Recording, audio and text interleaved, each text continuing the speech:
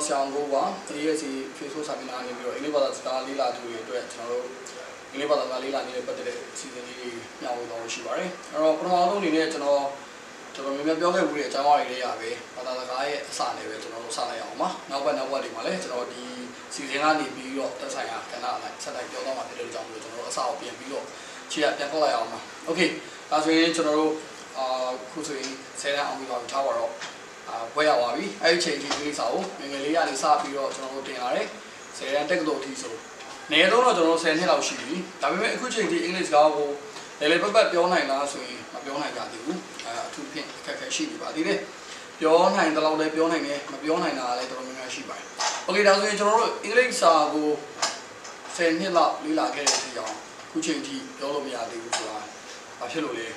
အဲ့တော့ကျွန်တော်စဉ်းစားကြည့်အောင်ပါ ဘာသာစကားအဓိကစာနားပါဒီဘာသာစကားပဲဖြစ်စီကျွန်တော်တို့နားပဲစာပါတယ်အဲ့တော့ကျွန်တော်တို့မိခင်ဘာသာစကားမြန်မာစကားကိုပဲပြန်စဉ်းစားကြည့်မယ်ဆိုရင်ကျွန်တော်တို့ပြောတာရယ်နားထောင်တာရယ်နှစ်ပိုင်းမှာဘာလို့ရင်လုပ်ခဲ့တာဆိုရင်ဘာလို့ရင်လုပ်ခဲ့ရလဲဆိုတော့ကျွန်တော်သိတာပါတယ်နားထောင်တာကိုရင်လုပ်ခဲ့ရတာပါဝေးလာကလေးကနေပြီးတော့အဖေအမေမိဘပတ်ဝန်းကျင်အစရှိတဲ့တော်တော်များများကကျွန်တော်တို့ပြောတယ်ပြောတဲ့စကားလုံးတွေကိုကျွန်တော်တို့ကြားတယ်အဲ့လိုကြားနေခြင်းဒီကျွန်တော်တို့တနည်းအားဖြင့် import skill တွေပေးနေတာပါ အဲ့လိုပေးနေတဲ့အခါမှာကလေးကသူကနားထောင်တယ်နားထောင်ပြီးတော့စကားပြောတတ်တာကိုဘယ်လိုကြိုးစားလဲအဲ့တော့ကျွန်တော်အနီးကပ်ဆုံးအမေကနေပြီးတော့ကျွန်တော်တို့စကားတင်မယ်အဖေကနေဆိုလို့ရှိရင်ဦးလေးတော်ရီကစကားတင်တယ်စကားတင်တဲ့အခါကျရင်ကျွန်တော်တို့ဒီအဖေအမေပြောတဲ့စကားလုံးကိုတစ်လုံးချင်းလိုက်ပြီးတော့ဆိုပါတယ်အဲ့တော့အဲ့လိုမျိုးဖေဖေဆိုရင်ဖေဖေပေါ့မေမေဆိုရင်မေမေတို့တော့အဲ့ဒီနေရာမှာကျွန်တော်တို့တစ်ခုရှိတာကအဲစကားလုံးအတန်အတွက်လေးတွေမပြီးတာရှိနေပါတယ်အဲ ဒါပေမဲ့ပြဿနာမရှိပါဘူးသူအကျွေရောက်လာတဲ့အခါပြီးသွားပါတယ်အဲအဲ့တော့ကျွန်တော်တို့နားထောင်နေနားထောင်ပြီးတော့ live ဆိုတယ် live ဆိုရင်လည်းပြောတတ်သွားတယ်အဲ့တော့အဲ့မှာ live ဆိုရတဲ့ဟာကိုသူကကလေးကတိလာတဲ့အခါကျတော့သူ့နားမှာကြားတဲ့အရာတော်တော်များများကိုကျွန်တော်တို့ဒီ live ပြီးတော့ဆိုပါတော့တယ်ဒီကြရင်ကလေးနားမှာဒီခွေးကြောင်ကြီးရှိတယ်နော်ခွေးကြောင်ကြီးညီတဲ့အတန်တွေတိုင်းသူ live ရှောက်နေတာကိုတွေ့ရပါလိမ့်မယ်အဲ့တော့ညောင်ပါညာပေါ့အဲ့လိုမျိုးပေါ့အဲ့တော့ဘာလဲဆိုလို့ရှိရင်သူဒီ listening ရတဲ့ input ကအားလုံးကို အတက်နိုင်ဆုံးသူ repeat လုပ်ပါတယ်အဲ့လိုမျိုးလုံရင်းလုံရင်းနဲ့သူဒီ speaking output ကိုထွက်လာတယ်ဒါကြောင့်မလို့သူကစကားပြောတဲ့အခါကျလို့ရှိရင်သူ့မှာ thinking power လုံးဝမရှိဘူးအဲ့တော့နားမှာသူဆဲတာတော့ဘာလို့ကြားရင်လဲသူဆဲမှာပဲအဲတကယ်လို့ဖုံးကြောင်းတွေပိုင်းနဲ့နီးမယ်တရားတွေဘာတွေကြားရင်လေသူအဲ့ဒါကြီးလေဩဘာသာတွေပိုင်းလေဆိုဆိုမှာပဲထို့သူတချင်းတွေပိုင်းလေဆိုဆိုမှာပဲအဲဒီဝီရှိမှာအနေများတဲ့ကလေးတွေဆိုရင်ကြော်ညာတွေပိုင်းလေသူလိုက်ပြောရင်ပြောမှာပဲ အဲ့တော့သူရဲ့ repetition ကအရင်မြန်တယ်အဲ့တော့နားထောင်နေ like ဆိုရဲအဲ့တော့ repetition ကအကုန်လုံးကိုလုံးပြီးတော့ speaking output က direct ထွက်သွားတယ်အဲ့တော့ listen repeat speak ဆိုတဲ့ process ကိုတခါတည်းတန်းထွက်သွားတယ်အဲ့တော့ကျွန်တော်တို့ကမင်းလေးလိုဘာလို့မပြောတော့ဘူးလဲဆိုတော့ကျွန်တော်တို့မှာအဲ့ listening information အင်္ဂလိပ်လိုမကြားခဲ့ရအောင်အဲ့တော့ကျောင်းမှာတင်တာတင်ခဲ့တယ်တင်တာတင်ခဲ့တယ်အင်္ဂလိပ်စာကကျွန်တော်တို့ကဒီညမှာကျွန်တော်ဒီဆရာဝင်းချက်စကားမှာပြောတယ် subject အနေနဲ့တင်တာ language လို့တင်တာမဟုတ်ဘူး အဲ့လို language လို့တင်လာတာမဟုတ်တဲ့အတွက်ကြောင့်မလို့ကျွန်တော်တို့မှာ listening info မရှိဘူးအကြောင်းမှာအဓိကက reading and writing မှာတွားလာတာအဲ့ listening info မရှိတဲ့အခါကျတော့ဒီ speaking output ကထွက်မလာတော့တွေ့တာဆိုကျွန်တော်တင်နေနေတက်ကြတယ်ဥပမာကျွန်တော်ရဲ့ဆီမှာဆိုလို့ရှိရင်အင်္ဂလိပ်ကိုတင်တယ်အဲ့လိုတင်တဲ့အခါကျတော့သူ့ရဲ့ပြဿနာကဘာလဲဆိုတော့နားမလဲနားမလဲတဲ့ကြောင့်မို့လို့သူစိတ်ညစ်တယ်အဲ့တော့ဘာဖြစ်လို့ကျွန်တော်တို့က English လို့ပြောပေးရလဲ ဘာလို့ English လို့ပြောပေးရလဲဆိုတော့အခုနကသူ့မှာ listening input မှာမရှိဘူး input မရှိတဲ့ကြောင့်မို့ speaking output ထွက်လာမှာမဟုတ်ဘူးအဲ့လိုဖြစ်တဲ့ကြောင့်မို့လို့သူ့ input scale ရင်ပေးတာအဲ့လိုပေးလိုက်တဲ့အခါကျတော့သူကနားမလဲတာနဲ့ပြဿနာစတက်တယ်အဲ့တော့ဟုတ်ပြီခုနကလေးတုန်းကဆိုရင်ကျွန်တော်တို့ကသူဒီ thinking power မရှိတဲ့အတွက်ကြောင့်မို့လို့ဘာမှမစင်စားဘူးကြားကြားတဲ့အတိုင်းသူကပြောချလိုက်တာလူကြီးကကြတော့သူကကြားလိုက်တဲ့အချိန်မှာသူကတကယ်တမ်းက listening input ကို repeat လုပ်ပြီး speaking scale ကို process ချိန်ရမယ်ဆိုတော့သူကဘာလုပ်လဲဆို think လုပ်တော့ ဘာပြောနေရလဲ think လုပ်ပြီးတော့တခါသူ translate လုပ်တယ်နားလည်အောင်မြန်မာလိုကြိုးစားတယ်ပြီးရင်တခါသူအဲ့တော့ try to speak ကိုပြန်ပြောဖို့ကြိုးစားတဲ့အခါကျတော့ကျွန်တော်တို့ကဘာပြဿနာတက်လဲဆိုလို့ရှိရင်မြန်မာလိုတစ်ခါစဉ်းစားပြန်တယ်ဘာပြောရင်ကောင်းမလဲ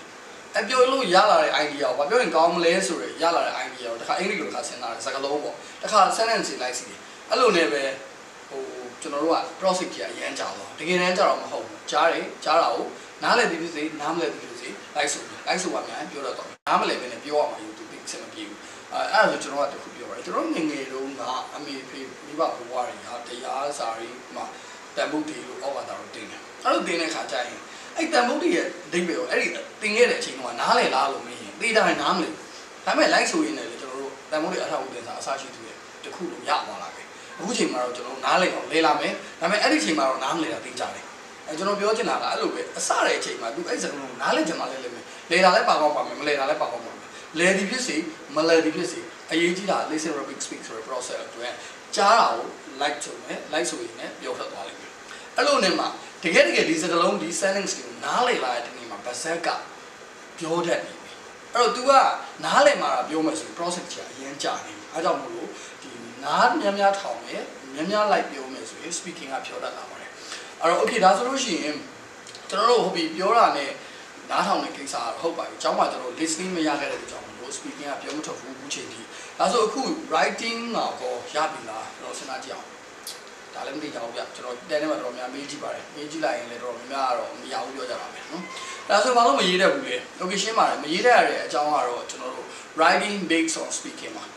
စကားပြောတဲ့ရင်ရေးဖို့အတွက်အမှန်တန်ဆင်ပြေပါတယ် ရေးတာအားပြောတဲ့ပုံမှာချိန်ခံပါတယ်ဟုတ်လားကျွန်တော်စဉ်းစားကြည့်အောင်ပါကျွန်တော်တို့နေ့စဉ်နဲ့အများတယောက်နဲ့တယောက် communicate လုပ်တဲ့အခါဖုန်းတွေဆက်သွယ်ကြတယ်ဒါကတော့အခုခေတ်ဟိုးလောင်းလောင်းကူတော့ဆိုကျွန်တော်တို့စာတွေရေးပြီးတော့ဆက်သွယ်ကြတယ်ဒီနေ့ခေတ်မှာလည်းဖုန်းနဲ့ဆက်သွယ်ပြီးမဲ့ Messenger မှာစာတွေပို့မယ် Facebook မှာကျွန်တော် status တွေတင်မယ်အဲ့ဒီရေးလိုက်တော့စာများစာများတည်ကျွန်တော်တို့ပြောချင်တော့အကြောင်းအရာကိုခြာရေးလိုက်တာပါပဲဒါဆိုလို့ရှိရင်ကျွန်တော်တို့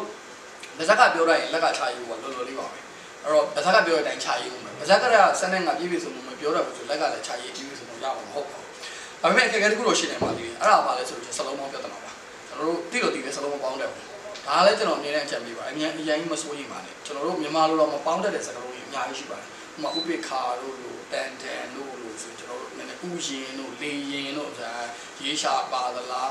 မပါဘူးလားအစရှိတဲ့ရောင်းဝါးတွေဖြစ်တတ်ပါတယ်ပြန်ပြီးတော့တိုက်ကြည့်ရပါတယ်ထို့တူပဲ English လိုပဲကျွန်တော်မပေါင်းတတ်တဲ့ခါကျတော့ရှင် dictionary မှာပြန်ကြည့်လို့ရပါတယ်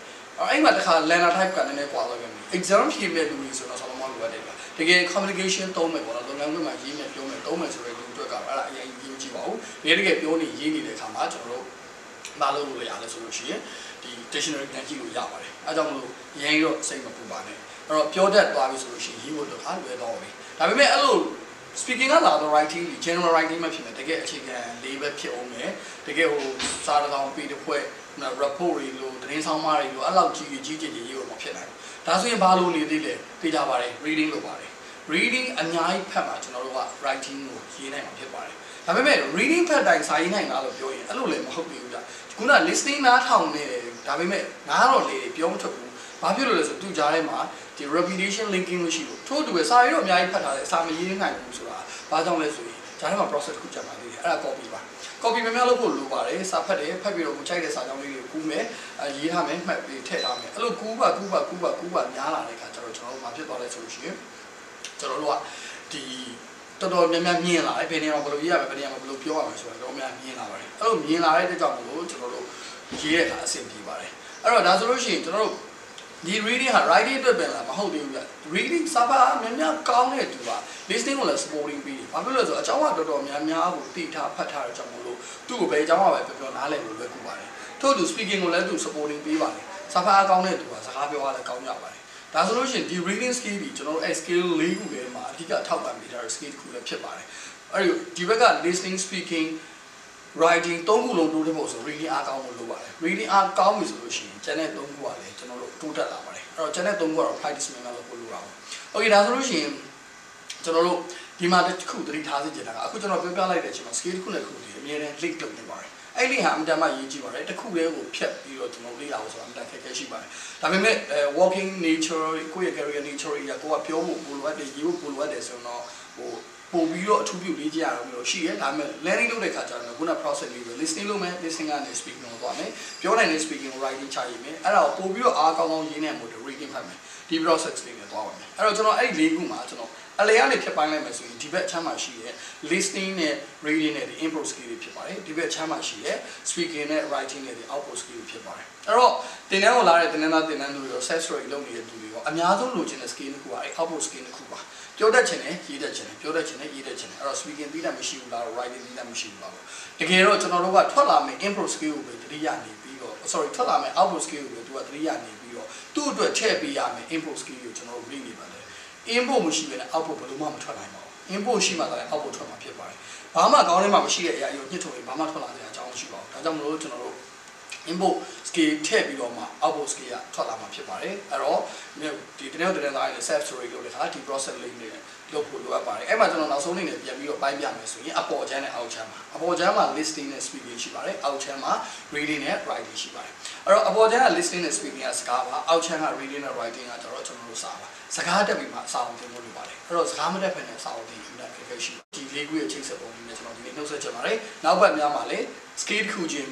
ကျွန်တော်ဆက်ပြီးတော့တင်ပြတော့မှာဖြစ်ပါတယ်အဲ့တော့ဒီဗီဒီယိုလေးကိုကြည့်လို့အဆင်ပြေတယ်ဆိုလို့ရှိရင်တော့ကျွန်တော်တို့ ASC Facebook page ကို CFL လုပ်ပြီးတော့စောင့်ကြည့်လို့နိုင်ပါတယ်အပတ်ဆက်တိုင်းမှာကျွန်တော်ရဲ့ landing guide အစီအစဉ်ကနေပြီးတော့အင်္ဂလိပ်ဘာသာစကားနဲ့ပတ်သက်တဲ့အကြောင်းအရာလေးတွေကိုတင်ပြတော့မှာဖြစ်ပါတယ်အားလုံးကျေးဇူးများတင်ပါတယ်ခင်ဗျာ